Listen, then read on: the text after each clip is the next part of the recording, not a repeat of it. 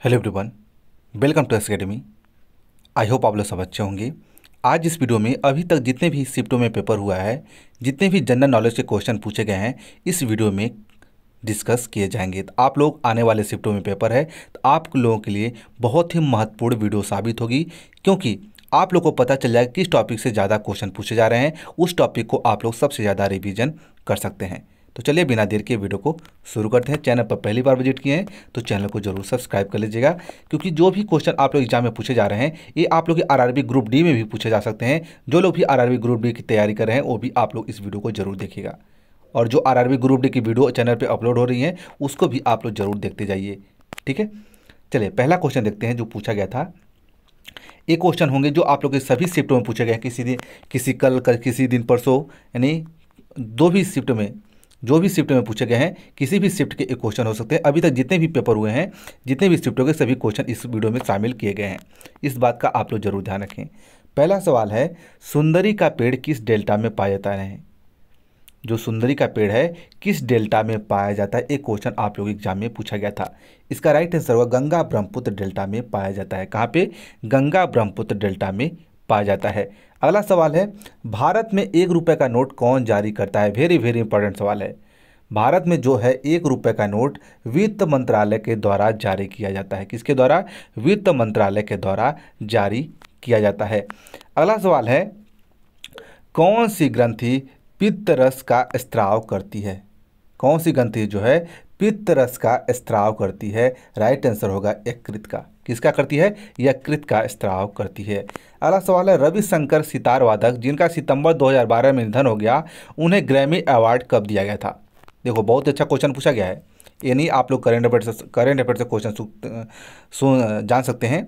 रविशंकर सितार वादक जिनका दिसंबर 2012 में निधन हो गया, वह ग्रैमी अवार्ड कब दिया गया था? मृत्यु के दो महीने बाद उनको ग्रैमी अवार्ड दिया गया था।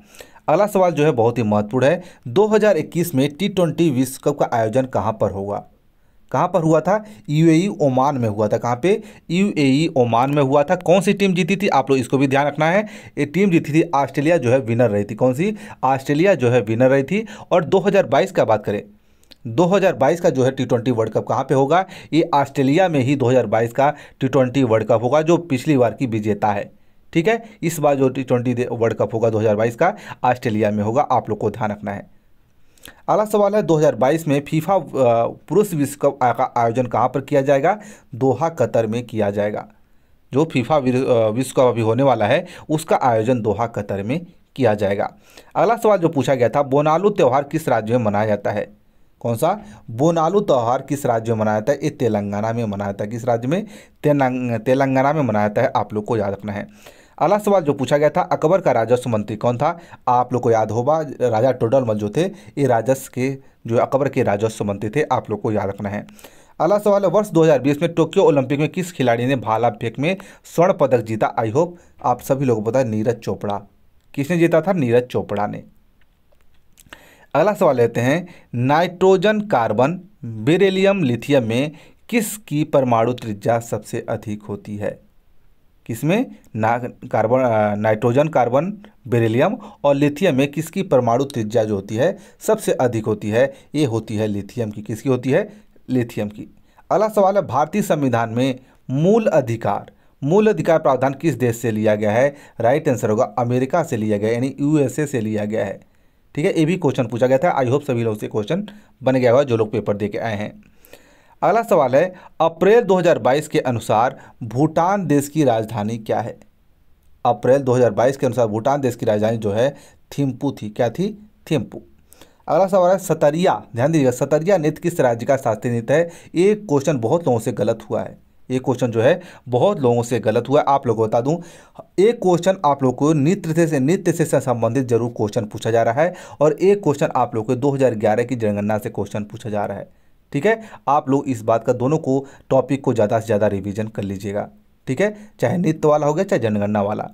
जो सतरिया नृत्य है, ये असम से संबंधित है। किस राज्य से? असम राज्य से संबंधित है। अगला सवाल जो है, किस राज्य की विधानसभा में अधिकतम कितने सीटें हो सकती हैं? किसी राज्य की विधानसभा में अधिकतम 500 सीटें हो सकती हैं।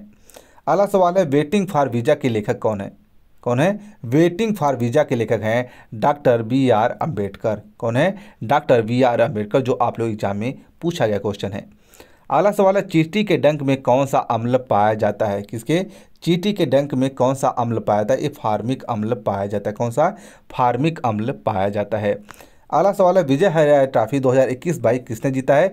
हिमाचल प्रदेश ने जीता है। देख, ध्यान दीजिएगा, स्पोर्ट्स जीके से, एक बात और बता दूँ, स्पोर्ट्स जीके से भी आप लोग एग्ज़ाम में एक क्वेश्चन पूछा जा रहा है। जैसे आप लोग को इस शिफ्ट में, जैसे आने वाले शिफ्ट में आप लोग से पूछ लिया जाए कि रणजी ट्रॉफी जो है, इस बार की रणजी ट्रॉफी किसने जीता है? तो आप लोग याद रखना, इस बार की रणजी ट्रॉफी किसने जीता था? एमपी ने जीता था। और 2021 की बात करें तो मुंबई ने जीता था। रणजी ट्रॉफी की बात कर रहे हैं, न कि विजय हजारे इस बार का जो है, वह मध्य प्रदेश ने जीता था और पिछली बार का जो है, मुंबई ने जीता था और विजय हज़ार ट्रॉफी दो क्वेश्चन में पूछा, हिमाचल प्रदेश ने जीता था दो हज़ार का। आप लोग क्या लगा के आए हैं, आप लोग कमेंट बॉक्स में ज़रूर बताइएगा। माधुरी मंडल किस नृत्य से संबंधित है? माधुरी मंडल जो है उड़ीसी नृत्य से संबंधित है। अगला सवाल है, बी, बिरहा नृत्य भारत किस राज्य से संबंधित है? ये बिहार से संबंधित है। बिरहा जो है, बिहार से। ठीक है, आप लोग को याद रखना है, ये भी क्वेश्चन पूछा गया है। अगला सवाल है, हड़प्पा सभ्यता में सबसे बड़ा स्नानगार कहाँ पाया गया था? हड़प्पा सभ्यता में सबसे बड़ा स्नानगार कहाँ पाया गया था? मोहन जोदड़ो में पाया गया कहाँ पे? मोहन जोदड़ो में पाया गया था। अगला सवाल है जनगणना दो हज़ार ग्यारह के अनुसार सबसे अधिक लिंगानुपात वाला राज्य कौन सा है? ये है केरल। आप लोग बता दो, हर शिफ्ट में जो 2011 की जनगणना से एक क्वेश्चन पूछा जा रहा है। अगला सवाल है, ब्रह्म, ब्रह्मापुर ईश्वर मंदिर कहाँ पर स्थित है? यह है तमिलनाडु में। ब्रह्मापुर ईश्वर मंदिर कहाँ पर स्थित है? तमिलनाडु में है। तो ये रहे आप लोग इंपॉर्टेंट क्वेश्चन जो भी मेरे पास मिले हैं जो भी बताए गए हैं, जितने भी क्वेश्चन मेरे पास आए थे, उसको आप लोगों को कवर करवा दिए गए। और ऐसे जैसे जैसे शिफ्ट होती जाएगी, आप लोग को वीडियो मिलती जाएगी। और साथ ही साथ आप लोग बता दूँ, आप लोग कितने अटैम्प्ट कर रहे हैं? आप लोग कमेंट बॉक्स में ज़रूर शेयर कीजिएगा। कुछ ही दिनों बाद आप लोग को अपेक्षित कट यानी एक्सपेक्टेड कट ऑफ़ भी आप लोग को पोल के ज़रिए जारी किया जाएगा। ठीक है? आप लोग चैनल को ज़रूर सब्सक्राइब कर लीजिएगा।